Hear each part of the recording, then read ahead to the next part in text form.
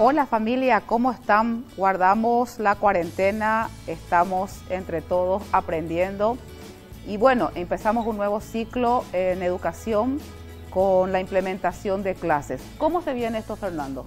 Bueno, esto es parte de una, Celeste es parte de una estrategia global digital del MEC ante esta circunstancia, donde tenemos tres acciones concretas. Una es una página que va a explicar Robert enseguida, que es una página de recursos Después tenemos la interacción áulica, o sea, una plataforma donde el docente va a interactuar con sus alumnos.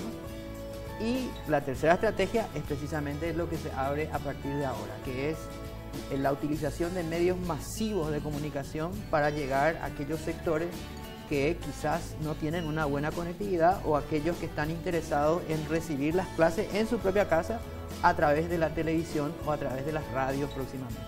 O sea, que ahora no solo vamos a estar accediendo a la plataforma del MEC para tomar los contenidos, las tareas, sino yo voy a tenerle a mi docente vamos a un en la televisión. Vamos a ser un poquito atrevidos, vamos a meternos en la casa, en la casa de nuestros alumnos, ya que los alumnos no pueden ir a la escuela en este momento, pero hay que aclarar algo, las clases siguen, no estamos sin clases, pero en este momento estamos con otro formato de clase, que es utilizar todo lo que nos ofrece el mundo virtual. Por eso vamos a entrar a través de la televisión también a las casas.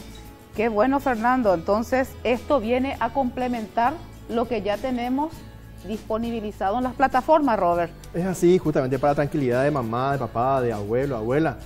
Este realmente es un espacio muy interesante porque imagino que en estos, en estos días tú recibías las tareas de tu hijo, de tu hija, de tu nieto y a veces te sentías un poquito eh, desafiado porque realmente es un rol interesante el que te planteamos ahora. Este espacio realmente ha nacido para complementar justamente esta tarea.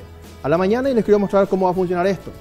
Aquí vemos, esta es una, la plataforma nuestra, la que decía Fernando, la de contenidos, es www.mec.edu, eh, aprendizaje.mec.edu.pi, aprendizaje.mec.edu.pi y eso es lo que tenemos todos los días, vamos a tener la clase del día, para desde el prejardín hasta el tercer año de la media acompañar este proceso de seguir los aprendizajes. Entonces, cuando uno entra aquí, el docente te va a llevar a algo parecido a esto, la clase del día, y esto es lo que a vos te aparece y recibe tu estudiante, tu, tu niño o tu niña recibe esto.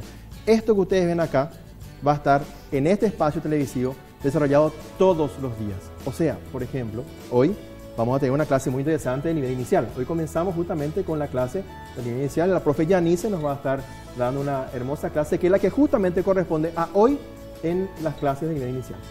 Entonces, Robert, yo voy a tener como mamá la posibilidad de ver en tele los días de clase, que yo pueda escuchar y pueda con un profesor hacer el acompañamiento a lo que el MEC disponibiliza en la plataforma. Así va a ser, así que se queden tranquilos que vamos a tener un profesor, una profesora que les va a explicar lo que en la tarea del día le estamos dando. Así que tengan tranquilidad de que por eso este espacio es como tener a un profe en la casa. Entonces, para tranquilidad de los padres, la plataforma tiene en este recurso televisivo una herramienta muy poderosa para poder acompañar ese proceso y también dar la tranquilidad a los padres de que vamos a tener un profe en la casa que le va a explicar eso que a veces nos cuesta a nosotros los papás explicar. Vamos a tener en este espacio eh, a un profesor que nos va a dar las luces para que nuestros estudiantes sentados frente al televisor puedan dar seguimiento a lo que esta mañana le dimos para dar este clase. Entonces esto está, es una buena noticia para papá, para mamá en las casas y me surge una duda. ¿Y qué pasa con aquellos que, que no pueden tener acceso a la plataforma por el tema? Yo sé que se liberó los accesos a, a internet, las telefonías Tigo, Claro, Personal y Vox han liberado. Sin embargo, pueden decir, aún así se va a tener acceso a esto por otros mecanismos, Robert. o sea, se ha dado un, esfuerzo importante y las telefónicas han liberado esto. hoy no, hay barrera económica para que en las familias podamos tener estos elementos que son sumamente útiles y que se acompaña a este proceso educativo. Robert, ¿y cómo sabe el docente eh, o, el, o, el, papá, cómo sabe a qué día corresponde eso? Porque ahí veo que en la plataforma parece que tienen Exactamente, los días. Aquí tenemos día por día. La plataforma está diseñada. Todos los días vamos a tener una nueva clase. Lo que va a hacer nuestro docente, el docente de nuestros hijos, va a de alguna forma extraer este documento, lo extrae y lo socializa. Cada día tiene su propio material. Cada día tiene su materia, Sí. cada día tiene su propio material. Y eso es lo que el docente en televisión va a desarrollar también.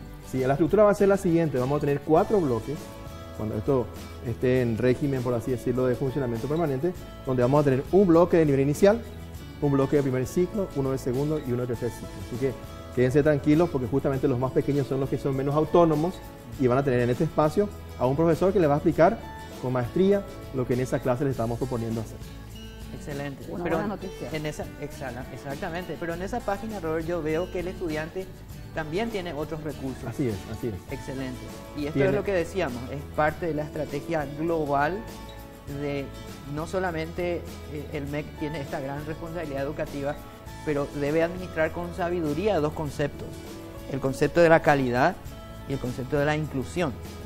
Y hoy vemos que en ambos aspectos estamos haciendo eh, un gran esfuerzo porque queremos asegurar la calidad educativa a través de estas plataformas, de los tres recursos, pero al mismo tiempo llegar a todos. Porque esa es nuestra educación de hoy. A eso queremos llegar. Así que es realmente un día para celebrar. Un día para celebrar, Robert, y no sé si me perdí. Mencionabas que arrancamos el día de hoy con educación inicial, Así ¿verdad? es, así es. Con los más pequeños, que muchas veces nos sorprende su capacidad de, de, de mostrarnos y de enseñarnos también. Pero ¿y qué pasa con los más grandes? Y bueno, nosotros estamos ahora, en la, la próxima semana comenzamos con los bloques ya ampliados para el primer ciclo, segundo y tercer ciclo. O sea, hoy comenzamos como primera, primera salida al aire con el guion inicial y a partir de la próxima semana con certeza ya vamos a tener el apoyo concreto para los los chicos que van desde el primer grado hasta el noveno grado. Y ahí, Fernando, yo creo que es bueno mencionar un poco también a, a la teleaudiencia que hoy están instalados ya aulas virtuales, que los centros grandes de educativos como los centros regionales hoy tienen instalado salas donde están los alumnos, por ejemplo, de la media y sus docentes, sus diferentes docentes ya están eh, llevando adelante este proceso educativo. Claro, la- la- en, la, en la división de informática, de tecnología del MEC, se están creando miles y miles en este momento de cuentas de usuario para los alumnos, para los docentes, para los supervisores, para los directores, para los administrativos. Tengo entendido, por ejemplo, que debe haber ya uno, a esta hora unos 6.000 directores solamente de colegios. Y debe haber probablemente ya a esta hora unos 40.000 eh, docentes incluidos en el sistema. Y aproximadamente unos 360.000, 70.000 cuentas de usuarios de alumnos. O sea, fíjense que esas aulas que tienen una existencia física, hoy en el MEC también tienen una existencia virtual. Entonces, ante cualquier circunstancia como esta, que podría no ser la última, el alumno sencillamente va a migrar a su aula virtual y ahí va a estar interactuando con todos sus docentes. Si se trata, por ejemplo, de un docente o de un alumno de tercer año o segundo año, eh, que no tiene un solo maestro de aula, tiene varios, tiene tal de física, tal de química, bueno, en esa aula los va a encontrar a todos. No solamente eso, va a poder descargar materiales, va a poder acceder a conversaciones, así como si fuese una red social, su propia aula. Va a poder hacer videoconferencias, va a poder, ti- tiene un, inclusive el otro día estábamos jugando con, la pizarra virtual, ¿verdad? Sí. Donde el docente puede ir escribiendo en tiempo real, los alumnos están mirando y, y así como antes nos hacían pasar al pizarrón, el docente hoy en términos virtuales también le puede hacer pasar al pizarrón virtual a su alumno. Su alumno toma control de ese pizarrón y empieza a hacer sus ejercicios. ¿verdad?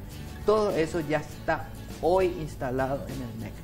Solo falta un pequeño proceso que, que ya se inició de capacitación a algunos que tienen alguna quizás dificultad o un poco de temor a cruzar esa barrera digital. ¿verdad? Pero eso es normal y es un proceso. Eh, Yo quiero hablar, Fernando. Yo también, cuando comenzábamos a hablar de esto de las Sí, aulas virtuales, yo tenía a veces cierto temor, Tu ¿verdad? caso es paradigmático. Por supuesto. Porque al comienzo vos mismo estabas eh, descreído, pero ahora sos el más entusiasta. Sí, realmente. La utilidad que esto tiene, estas aulas virtuales, son fantásticas. Todas las funcionalidades que tiene cada día nos asombran.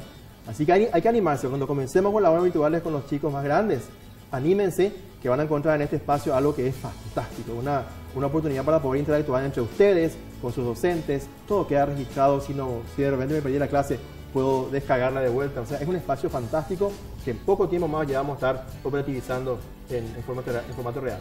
O sea, eh, yo docente voy a estar, estoy acompañado desde el nivel central en la capacitación y en el acompañamiento. Esto ya está instalado, esto ya está funcionando. Así que eh, no, no tengan miedo también porque este es un gran e importante paso que damos.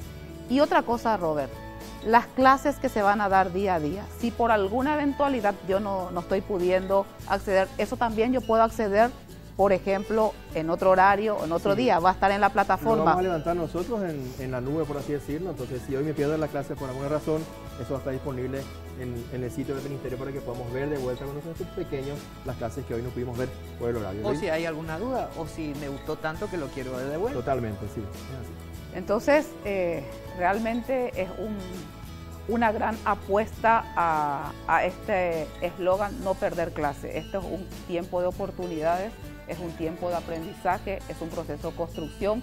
Decía Fernando, prácticamente tenemos casi 600 mil usuarios entre lo que es la pirámide de directores, supervisores, nivel central del MEC, las aulas virtuales, los centros regionales, o sea, algo que, en otro tiempo parecería tan lejos, tan, tan irreal. Y, y lo que es bueno, Robert, es también mencionar a la familia y a vos, profesor, de que nosotros constantemente estamos analizando y evaluando con otros profesores, con otros viceministros, con otros en otros países, porque esto nos llega a todo.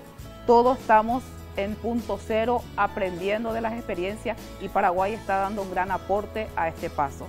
Entonces es ir viendo qué hace Paraguay en este contexto, cuáles son. Hoy arrancamos televisión, se viene próximamente radio y bueno, ¿Qué les parece si damos lugar a esperar un poco ya de cara a esto que hemos hecho, lo que se viene, comenzar las clases, Fernando? Sí, realmente, y ante esta incertidumbre que vive el mundo, ¿verdad? Por un pedacito de ARN que anda circulando por ahí, nosotros hoy en e, esa incertidumbre la tenemos que tomar no como una amenaza, como todo el mundo está tomando, sino como una oportunidad. Porque él, decía un escritor famoso llamado Víctor Hugo, la, eh, la, incertidumbre hace que nosotros definamos el futuro de distintas formas. El que, el, que, el que es débil lo ve como la dificultad, el que es temeroso lo ve como la oscuridad, pero el valiente, y esos son nuestros docentes, y esos son nuestros padres, lo ve como la oportunidad, ese momento de transformación social a través de la educación, y eso es lo que va a pasar y se ríe Robert porque eh, eh, siempre solemos jugar con él, ¿verdad? De, quién tiene más palabra de fe para el Paraguay. Es así. Entonces vamos a lanzar esa palabra de fe de que vamos a transformar la educación en esta oportunidad. Realmente este momento que estamos pasando nos desafía, nos empuja a tomar decisiones que de otra forma no, no hubiésemos tomado porque estaban tan lejanos en el tiempo. Así que comencemos las clases ahora, ¿qué les parece? Comencemos. Las clases ya están, quédense en sus asientos, arrancamos ahora.